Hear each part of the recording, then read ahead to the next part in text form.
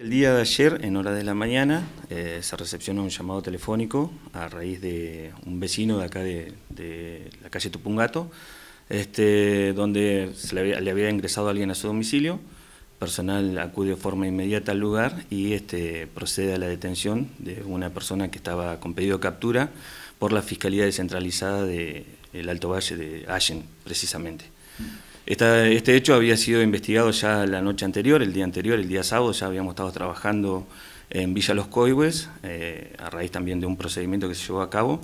donde esta persona estaba alquilando un domicilio ahí y en ese lugar se trabajó con, obviamente con conocimiento de la Fiscalía de turno de, esta ciudad,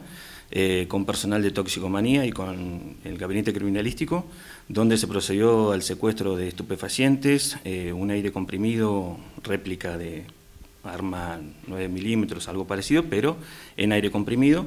Este, bueno, como le dije, estupefacientes, eh, balanza de precisión, un vehículo, dinero en efectivo, bueno, entre otros elementos más que se secuestraron en el lugar. Este momento está en proceso de investigación, es decir, los datos están precisos, se le van a formular cargo y eso ya en este momento se encuentra a cargo eh, de la Fiscalía de Investigaciones. Desde si trabajaba con otras personas, de acuerdo a lo que se ha conocido, este, viene oriundo del Alto Valle, aparentemente era integrante de, una banda o algo por el estilo. Se trabaja en conjunto de forma inmediata, nosotros ya habíamos tomado conocimiento de la situación y de la búsqueda de esta persona,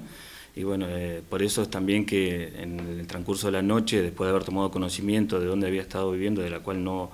no apareció más a ese lugar, este, se procedió a buscar durante toda la noche y cuando se recepcionó este llamado, el personal acudió de forma inmediata que logró la detención de este ciudadano.